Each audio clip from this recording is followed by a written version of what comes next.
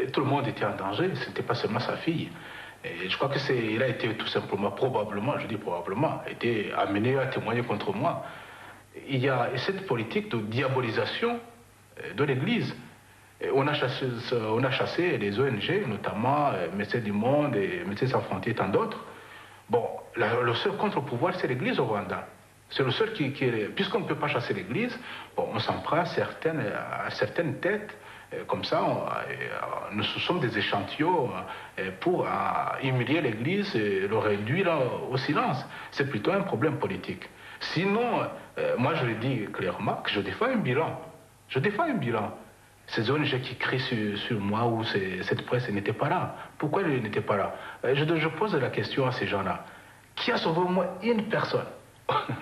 Qui a donné au moins. Donc, qui, qui a sauvé au moins une vie? Au, au moins une personne? Moi, j'ai tout un peuple qui a survécu grâce à notre action. Qui m'insulte, qui témoigne contre moi, peu importe. Mais c'est qu'ils. Et ils sont vivants.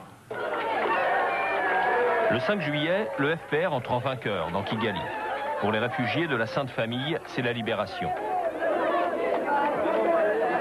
Le père Venceslas, lui, n'est plus là. Il est parti dans la nuit avec l'armée et les miliciens.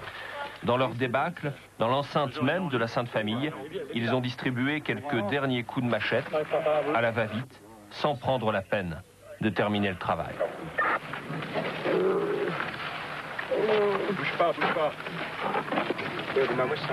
J'ai hésité de partir.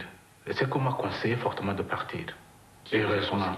Donc, il y a, je m'appelle, et il y a l'officier qui, qui était chargé de notre protection m'a dit écoutez, on va partir. Il faut que tu partes aussi. Je dis, de toute façon, moi j'ai des gens, je veux partir, je vais rester avec mes gens. Il m'a écouté, on ne sait jamais pendant la guerre. Alors, quand on prend une navire, il y a des règlements de compte, quoi encore. Si tu veux, tu pars, si tu es revenu, tu reviendras après. Je te conseille ça. Mais je n'ai pas bien écouté.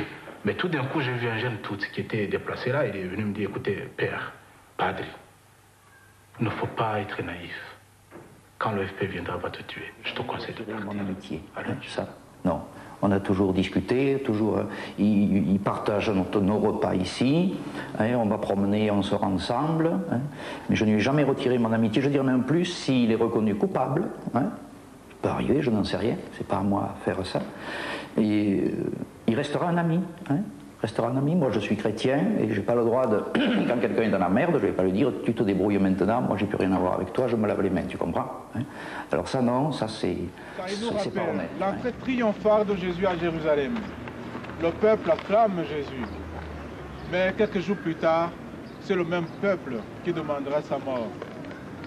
Dans cette euh, démarche qui commence cette semaine sainte, pensons que c'est par cet événement que le monde a changé, que notre foi se base sur cette démarche de Jésus lui-même et qui amène à, la résurrection, à la victoire.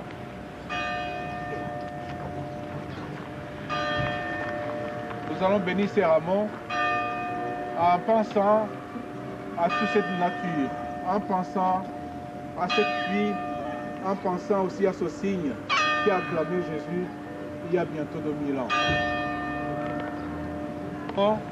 que nous partons pour fêter le Christ notre roi.